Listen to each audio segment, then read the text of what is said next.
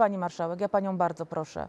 Niech pani nie, nie miesza tak niesamowicie pojęć i niech pani nie wprowadza naszych widzów w błąd, bo doskonale pani, Właśnie. pani marszałek wie, że kwestia e, dzisiaj legalności dostępu do aborcji to jest właśnie kwestia e, pochodzenia ciąży z czynów e, niedozwolonych i i przykład, który pani, który pani podała, jest absolutnie legalny. Zresztą doskonale Państwo wiedzą jedną rzecz. Poza kwestią sporu e, takiego czysto światopoglądowego, ten projekt naprawdę z legislacyjnej perspektywy był delikatnie mówiąc niedopracowany. Rozumiem, że, rozumiem, że, e, że ten temat pewnie, pewnie wróci. Stanowisko pana prezydenta w tej sprawie jest, jest jasne, ale proszę naprawdę nie mieszać widzom w głowach i nie Jedna opowiadać i nie opowiadać naprawdę rzeczy wprost nieprawdziwych. Zresztą pan, pan poseł Szczerba również mówiąc o odpowiedzialności lekarzy dokładnie tak samo mijał się sprawą. Pani marszałek adwocem? Adwocem, y, czy pani minister wie, ile ciąż zostało przerwanych na podstawie y, z tej przesłanki, że zostały, kobieta została zgwałcona? Ostatnie statystyki, jakie widziałam, to były dwie osoby. Dokładnie. To nie jest, y, to nie jest realna skala, dlatego że, uzyskać, dlatego że uzyskanie zaświadczenia w wystarczająco szybkim czasie od prokuratury, że ma się prawo do przerwania ciąży graniczy z niemożliwością. Nieprawda. I, Ja też y, uważam, I takie są fakty i dlatego złożyliśmy, dlatego składaliśmy w, zeszłym, y, w zeszłej kadencji projekt, który miał nałożyć konkretne terminy na prokuraturę, żeby wydawać takie, y, takie zaświadczenia, żeby kobiety mogły z tego prawa A czy pani skorzystać. marszałek ma jakieś Niestety wiarygodne tak dane w tej jest. sprawie, czy to są Tak, opowieści ale- państwa ale polityczne co pani uważa, Nie, że pamiętamy mamy- te wytyczne Zbigniewa Ziobry również do prokuratorów, żeby w każdy przypadek ciąży badać, robić rejestry i tak dalej, i tak dalej. Wie Pan pani, Bodnar to jest czas, jesteśmy w XXI żołnierzy. wieku i kobiety mus, mają prawo czuć się I bezpieczne, może- mają, prawo, e, e, mają prawo tego, żeby je, ich prawa były respektowane. I naprawdę Mogę z niedowierzaniem ludzie także w Parlamencie Europejskim patrzą na to, co się dzieje i, na tego konserwatywnego prezydenta, który nie rozumie rzeczywistości. I ostatnia Jedno, rzecz, panie redaktorze, też. Sekundę, sekundę. Nie, Sekundę, nie pani marszałek, minister Paprocka, marszałek Biejat i marszałek Bosak. Panie, panie pośle, bardzo proszę o takie nie, nie, niepouczanie mnie jak z katedra, bo akurat to ja jestem kobietą i mam prawo mieć swoje poglądy No, w tej pani ma sprawie. swoje poglądy, i mam prawo... większość kobiet ma inne poglądy pani- i wyraziły to 15 ale panie, października. Panie pośle, ale właśnie o to I chodzi, te że mamy niektóre prawa projekty mieć, będą niestety że mamy, musiały proszę poczekać. mi nie przerywać, ja wiem, Będą że pan musiały jest poczekać do niesamowicie... końca prezydentury Andrzeja Dudy, która się zbliża. Panie pośle. W sprawie prezydentury. Panie pośle, każdy ma prawo mieć swoje poglądy i bardzo proszę nie Jasne. wrzucać wszystkich kobiet do jednego worka, bo są absolutnie tutaj poglądy jedne i drugie i jak pan tak pięknie mówił o tym szacunku, to ja mam ogromną prośbę do pana, aby pan również szanował te poglądy, które są konserwatywne, bo jak pan doskonale wie, z ostatnich badań Cebusów wskazano bardzo wyraźnie, że kwestie aborcji są delikatnie mówiąc na samym końcu oczekiwań wobec rządu, obozu, który pan reprezentuje. I ja bym była bardzo, pani marszałek tutaj tak pięknie mówiła o tym, że jest w stanie zajmować się kilkoma kwestiami. Pani marszałek, ile jest ustaw w Senacie procedowanych na każdym posiedzeniu? Dwie, trzy?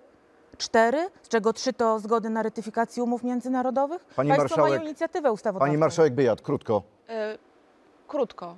Mnie, to, co mnie porusza też w tej dyskusji, to jest fakt, że Państwo kompletnie, y, i to duża część Państwa przecież tak pięknie mówi, dużo o, o tym, że trzeba się zajmować kobietami, że trzeba się zajmować osobami ubogimi, a nie przyjmujecie do wiadomości w ogóle faktu, że w dzisiejszej wa- y, sytuacji y, i w dzisiejszej rzeczywistości kobiety, Państwa żony, Państwa córki, Państwa koleżanki sobie poradzą, bo one mają pieniądze, sprowadzą sobie środki aborcyjne z zagranicy, będą robiły co chcą.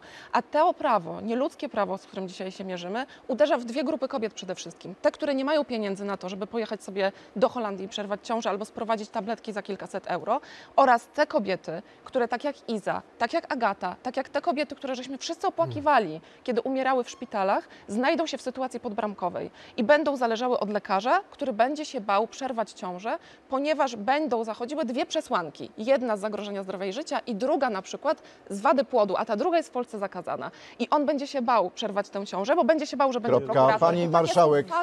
Pani marszałek. Pan marszałek Bosak. Ja także. To są kompletne bzdury, co pani opowiada, chyba tylko dlatego, że jest pani marszałkiem Tak. Senatu, to pani nie śledziła prac legislacyjnych w Sejmie i w, dezinformuje pani widzów w każdym zdaniu, w które pani wypowiada co do stanu prawnego. W tej chwili aborcja jest legalna do momentu porodu dziecka, jeżeli występuje zagrożenie zdrowia i życia. Haniebny sposób pani się powołuje na przypadki ciąż i e, śmierci kobiet, które zmarły w wypadku sepsy. które miały przyczynę w złej opiece lekarskiej na oddziałach porodowych. Czy pan się W zastanawiał, sytuacji, skąd się ta proszę milczeć bierze? i słuchać, bo kłamała nie, pani zbyt Nie, długo. nie będę proszę milczeć, jak pan milczeć i kłamie i posłuchać. pan robi Proszę wszystko, posłuchać, jaka żeby niszczyć po prostu Bardzo proszę, dostęp panie kobiet do zdrowia. Pani marszałek i panie marszałku, ma, pani to marszałek, po prostu skandal. pani marszałek, dam pani szansę riposty odpowiedzi na to, Nie, co ja mówi proszę, pani. żeby pan przestał opowiadać takie Pani marszałek- i traktował innych gości z szacunkiem.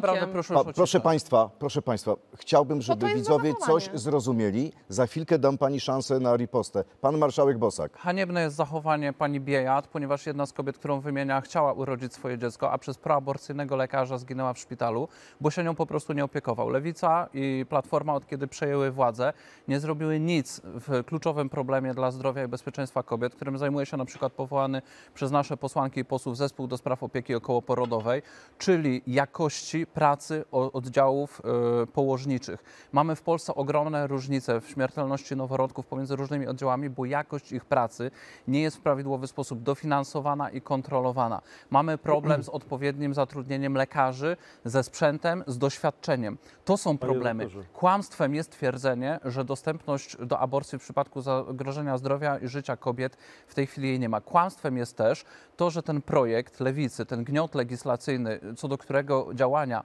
jak on wyszedł z komisji i nikt już dokładnie nie wiedział z tych, którzy go proponowali, jakie będzie miał skutki i dopiero Giertych im to rozpisał na Twitterze, że mogą wręcz doprowadzić do zaostrzenia kar za aborcję i traktowania aborcji jak zabójstwo, bo nie rozumieją kodeksu karnego i lekceważą wcześniejsze wyroki Trybunału Konstytucyjnego nie tylko z 20 roku, ale z lat 90. Natomiast to, co robili, to obniżali bezpieczeństwo i ochronę życia kobiet, o czym uczestniczki wszystkich czarnych protestów, strajków kobiet nie wiedzą. Kropka.